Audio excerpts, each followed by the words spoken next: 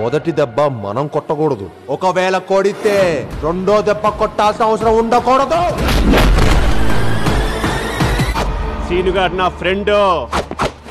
Action సీక్వెన్స్లో వీడి separate trend. ఇక్కడ హ్యాష్ ట్యాగ్స్ లేవమ్మా.